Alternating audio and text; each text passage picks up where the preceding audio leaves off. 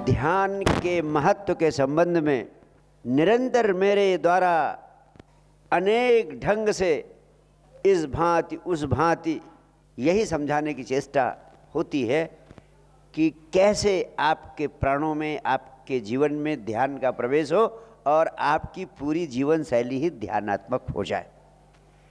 मैं सबसे महत्वपूर्ण बात आपसे कहना चाहता हूँ, इस पृथ्वी पर हर आदमी की आकांक्षा है कैसे वो धन से लेकर ध्यान तक, पदार्थ से लेकर परमात्मा तक हर मनचाही मंजिल को पाले। हर व्यक्ति भौतिक जगत में सुख समृद्धि की ऊंचाइयों पर पहुँचना चाहता है। हर व्यक्ति इस ज़िंदगी में हर मनचाही चीज़ों को, हर मनचाही मंजिल को प्राप्त करना चाहता है और हर मनचाही चीज़ों को, हर मनचाही मंजिल को प्राप्त करने के केंद्र में जो महासूत्र है, उस महासूत्र को मैंने ध्यान की संज्ञा दी है। लेकिन ध्यान के साथ कुछ इतना अद्भुत आयाम जुड़ा है, उसके कुछ इतने महत्वपूर्ण कारण हैं कि चाहते हुए भी आप में से अधिकांश लोग ध्यानात्मक जीवन शैली नहीं बना पाते हैं, ध्यान को जीवन का अंग नहीं बना पाते हैं। अधिकांश लोग ध्यान करने की चेष्टा करते भी हैं तो चार छः दिन में ध्यान करना उनके लिए संभव नहीं हो पाता है। तो बहुत थोड़े से लोग हैं जो किसी तरह से प्रेरित होते हैं और लगातार ध्यान करने की दिशा में सार्थक कदम उठा पाते हैं। लेकिन अगर ऐसे ही चलता रहा तो अधिकांश लोग इस पृथ्वी पर निन्यानवे प्रतिशत से भी अधिक लोग ध्यान की महा औषधि से वंचित रह जाएँगे। लेकिन अगर 21वीं सदी के व्यक्ति को ध्यान की महा औषधि उपलब्ध नहीं कराई गई तो समझ लेना सारी मनुष्यता महाविनाश की ओर कदम उठा चुकी है और महाविनाश से मनुष्य को बचाया नहीं जा सकेगा।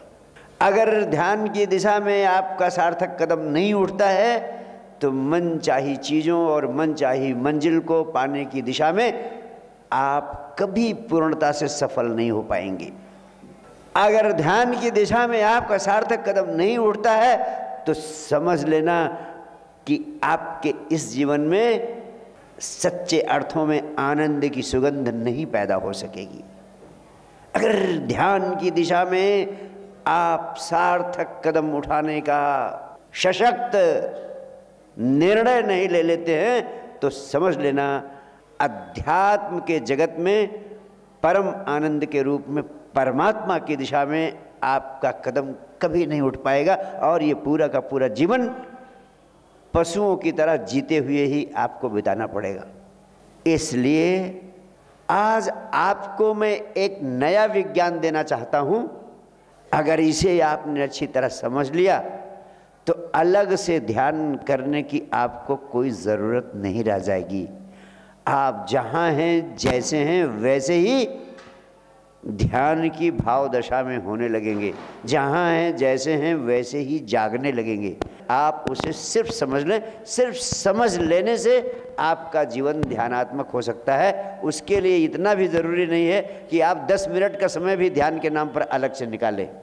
इससे सरल और कोई विधि और कोई टेक्निक और कोई ध्यान का विज्ञान उपलब्ध कराया जाना संभव नहीं है। और 21वीं सदी का आदमी समझदार है।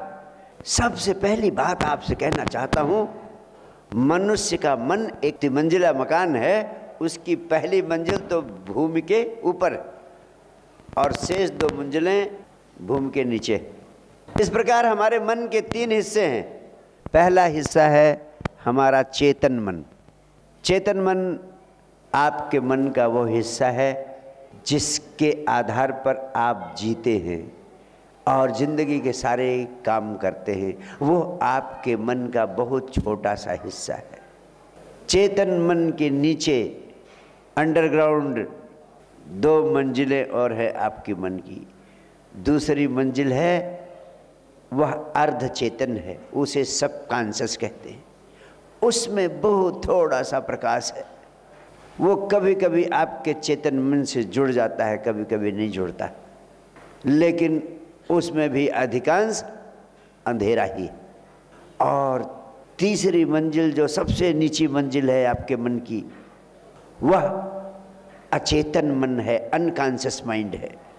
वो अनकॉन्शियस माइंड अचेतन मन इसलिए अचेतन कहा गया है, क्योंकि वह पूरा का पूरा ही अंधेरे में है।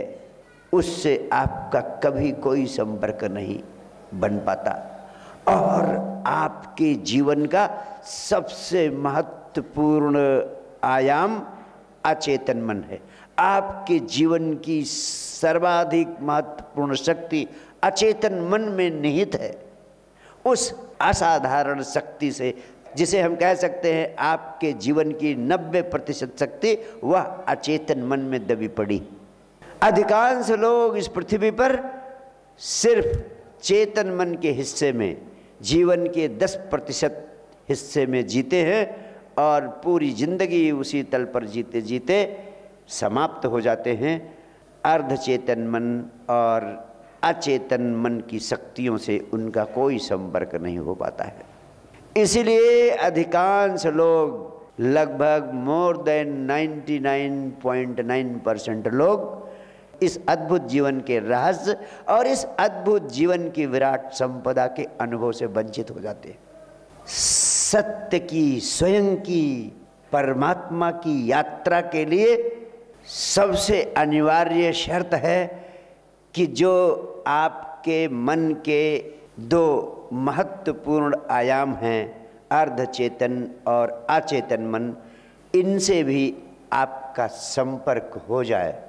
यहाँ भी आपकी चेतना जाग जाए। जीवन की जड़ें अर्ध चेतन और फिर और गहरे अचेतन में छिपी हुई हैं।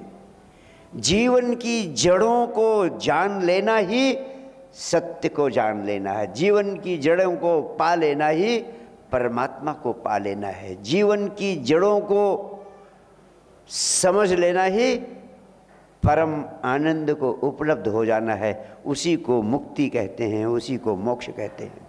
इसलिए अध्यात्म जगत में मनुष्य के जीवन का सबसे महत्वपूर्ण, सबसे मूल्यवान सूत्र है कि आपकी चित्त के जो अंधेरे कक्ष हैं, जिन मकानों में निरंतर अंधेरा रहता है, उन मकानों में रोशनी को उपलब्ध करा देना।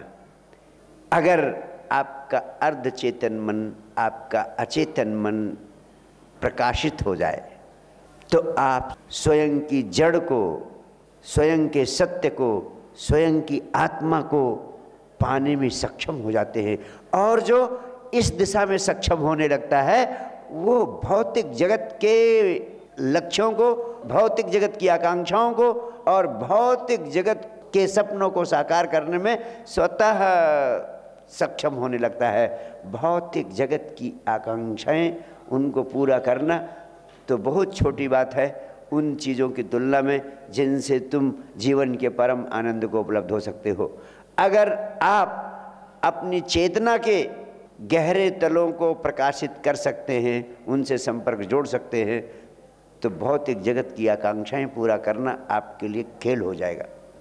तो अध्यात्म जगत की सारी साधनाओं का सार सिर्फ़ इतना है कि तुम्हारी चेतना जो पहले तल पर जागी हुई है, वही चेतना इस दोनों तलों पर भी प्रकाशित हो जाए, उससे उसका संपर्क बन जाए और उससे संपर्क साधने की कला का नाम ही ध्यान है।